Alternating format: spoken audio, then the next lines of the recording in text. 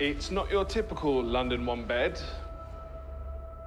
It's amazing. What's he like?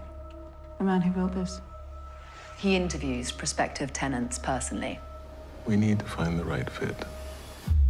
But perhaps we've found her. My houses make demands of people.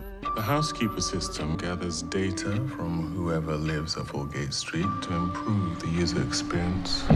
Living in a different way, a different place. I think it'll help.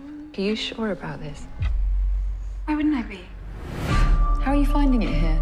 The house and I are a good match for each other. And the man who built it, could you be a good match for each other? Emma, I will love you forever. Here's Emma. Somebody else is taking my place. Do you know anything about the young woman who lived here before? Somebody else Emma Matthews. How well did you know her? with a smile. Yeah.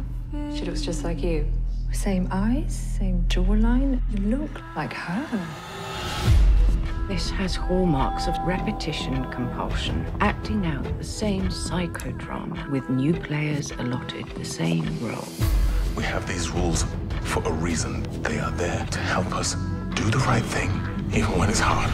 Are we just objects to be replaced whenever we do something you don't like? I need to understand how this relates to me and to Emma. You agreed to live here under certain rules. Okay, and what if life just doesn't work like that? Then make it work like that! If it is a battle, it may not be over.